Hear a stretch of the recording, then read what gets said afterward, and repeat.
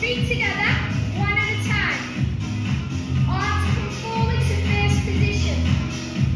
Concentrate on how your feet and ankle are feeling.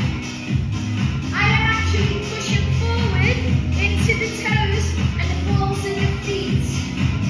And it's up to you how big this move is. You listen to your feet. Can you do them together? Do a